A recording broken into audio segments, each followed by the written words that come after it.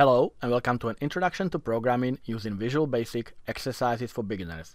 In this exercise we are going to simulate a voting machine. We are to write a program that handles an election. When the program is first run, the label at the top of the page should read as follows. Nominate candidate to enter a candidate or start voting to end nominations and start the voting. The program should add each candidate to a list box as he or she is nominated. After the nomination process is complete, club members should be able to approach the computer one at a time and double-click on the candidate of their choice.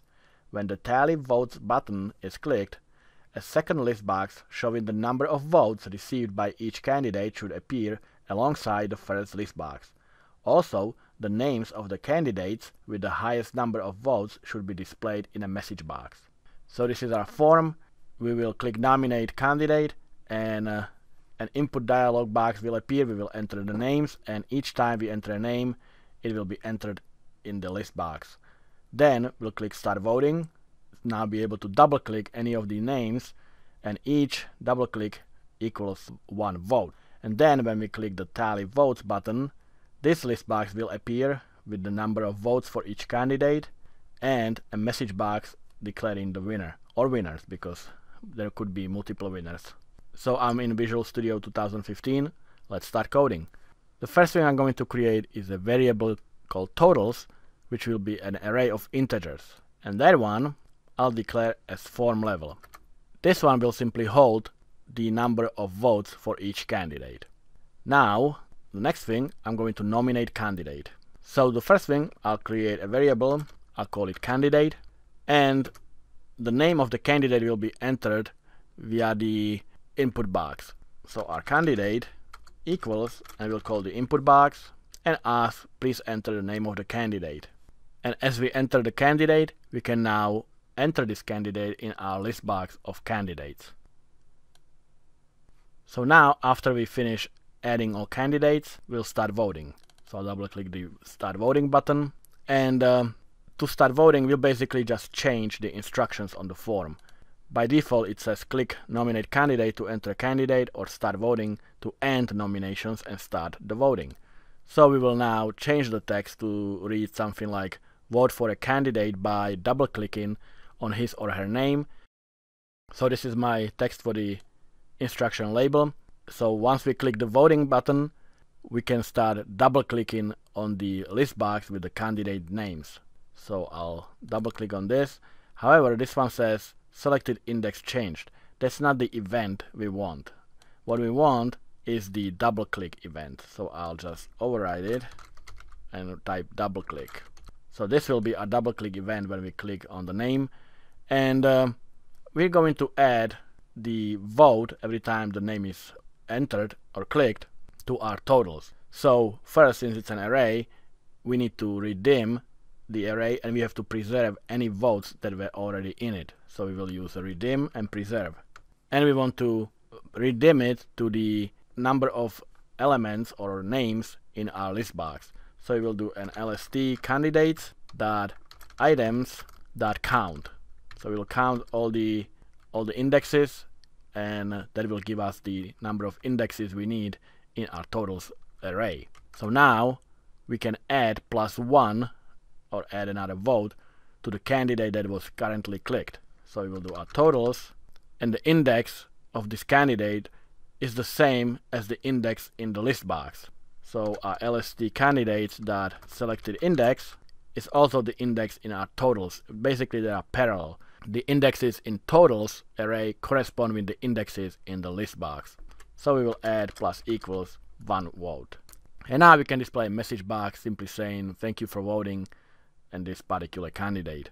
So we'll use message box and we'll type thank you for voting for and we'll concatenate the name of the candidate which is going to be taken from the list box. So it's going to be the lst candidates dot selected item. However, selected item is an object, so we have to convert it to string. So that will give us the name of the candidate. And finally, we are going to tally the votes. The first thing we need to make the votes list box uh, enabled or visible because by default I have it invisible because we only want to display the votes at the end after the voting ends. We don't want to see how the candidates are getting votes. So we will do lst votes dot visible and it equals true. And now we can display the votes in this uh, list box. And we can use simple for each loop and we are looping through the totals because we are going to display the totals for each of the names and we are adding the vote. Now the way this works is let's say we have four candidates in this list box so we will have four lines and then there will be four lines in the vote uh, list box. In other words, the first line for the candidate corresponds with the first line of the votes. Second line is the candidate's name and, and second line in the votes is the number of votes for this second candidate and so forth. So again, these are parallel. And since the indexes correspond, we can now loop through the totals. So first, I'm going to create another array, I'll call it winners, and it will have the number of indexes equal to the count of the totals. So our totals array.count, and of course minus 1. And this is going to be an array of integers. This one will hold the indexes of the candidates with the highest score, because there could be one, but potentially more, people with the same number of votes. That's why I have it as an array instead of just a single integer. So now we have to determine what was the highest number of votes. So we will create another integer, I'll call it highest, and it will equal the highest number from our totals. So it will be totals dot max. So again, there could be more people having the same number of votes, but this is the maximum number of votes that any of the candidates received. So now that we have the highest number of votes for any of the people in our candidates list box, now we can loop through the totals and find each total that is equal to the highest. In other words, we'll find every candidate that received this number of votes. So we will loop through the totals, dot count, minus 1 of course, and we will do an if statement, and if the totals that we are currently looping through, which would be the index of i, equals the highest, then we'll add that person or that candidate to our winners. So our winners of i, and this is important because the index of i in this case also corresponds with the index in the candidates list box. So we will simply add 1 to it. So if this is uh, one of the winners, we will add 1, and if it's not, then we will add 0. So at the end of this loop, we'll have uh, at least one person associated with a value of 1 and bunch of others with zeros. If there are multiple winners, all those with the highest uh, number of votes will have number of 1 associated with their name. So now we can loop through our all winners and uh, add them together. So I'm going to create a string, I'll just call it all winners, and this will be basically a string that concatenates all the names of the winners. So we will loop through our winners array and now we will see if the winner has 1 and if it is then it's one of the winners.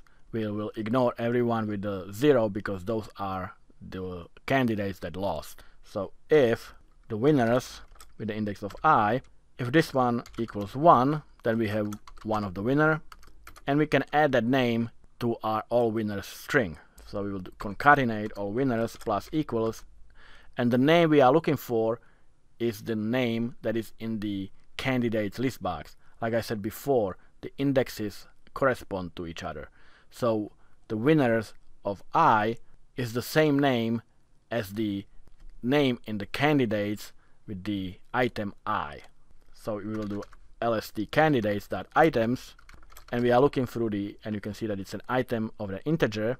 And um, the integer is the index of the item of the collection to get or set. And in this case it's again i. And we have to convert it to string. And if there are more names we'll concatenate a comma. So after this loop all winners will have a bunch of names separated by comma and we can now display the message box with all the names because those are the winners of the election so we can display the message box that says the winner is or are and we will display the all winners which is a string so it's gonna be all the names in one line and we can concatenate the number of votes that they won with. And the number of votes are the same for all of these people because they all reach the highest number of votes. Or it's just one person who reached the highest number of votes. So it's again going to be the totals dot max and we'll concatenate the word votes. Alright, so let's test it. And you can see I'm getting the input box first and I can see why. It's because I have it in the load event for the form. I'll just copy this code and cut it and place it into the button click event for the nominate because that's where it belongs. Alright, so let's run it again. So here's my form and I click nominate candidate and let's do Pavol 1. Let's another one would be Pavol 2 and you can see they are being added. Pavol 3 and let's do Pavol 4. So now I have four candidates. I click start voting and you can see now the text changed. And now I'll double click a few of the names. So I'll double click each of the name first and I get thank you for voting for Pavol 1, Pavol 2, Pavol 3, Pavol 4 and let's the Pavol 2 and Pavol 3 have the same number of votes which is 2. So at the end I'll click tally votes and you can see that it adds the votes, it displays the list box and you can see that Pavol 2 and Pavol 3 indeed have 2 votes and Pavol 1 and 4 have 1 and the message box says the winner are Pavol 2 and Pavol 3 with 2 votes. So that works correctly. Now let's run it again. This time I'm going to just have one winner. So again, I'll double click all of them to give them one vote. And I'll make Pavol 3 the winner with 2 votes. So when I click tally votes, you can see that he has 2 votes, all the others have 1, and Pavol 3 is the winner with 2 votes. So this is working correctly. I hope you liked it and I'll see you in the next video.